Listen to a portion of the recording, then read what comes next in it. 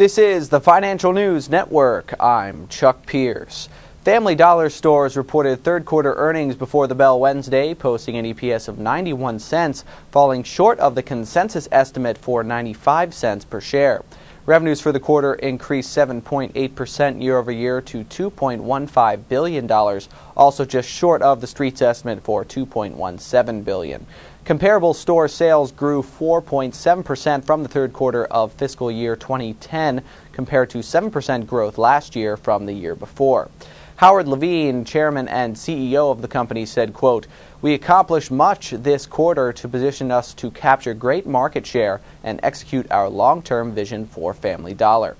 I remain confident that our strategy of providing customers with value and convenience, combined with the impactful investments we are making to improve the shopping experience in our stores and our profitability, will continue to to deliver strong shareholder returns.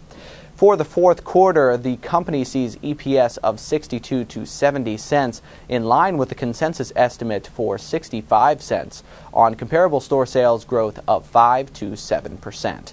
For more updates, stay tuned. You're watching the Financial News Network. I'm Chuck Pierce.